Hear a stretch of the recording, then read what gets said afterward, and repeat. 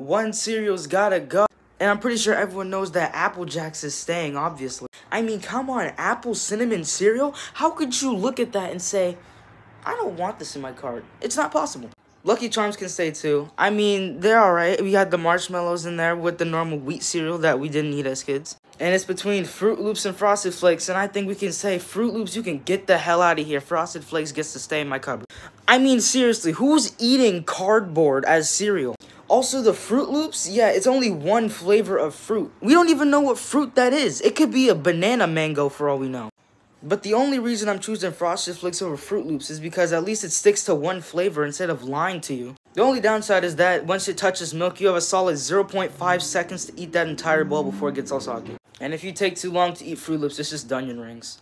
Tell me which one you think should go in the comments below. I'll see you guys next time.